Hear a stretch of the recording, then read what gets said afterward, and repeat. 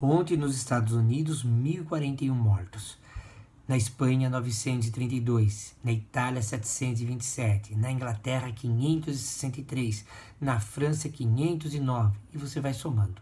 Esses números são de mortos de Covid-19, um novo coronavírus. Eu me assusto quando as pessoas ainda querem comparar é, o Covid com H1N1, com mortos de tuberculose, mortos do trânsito, num espaço de tempo que não é o ideal. É brigar com os números ou se fazer de bobo.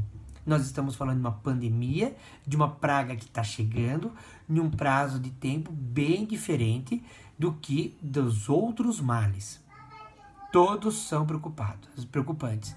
Mas o que me siga é: será que os números que a China divulgou são verdadeiros? Que ela controlou toda a pandemia?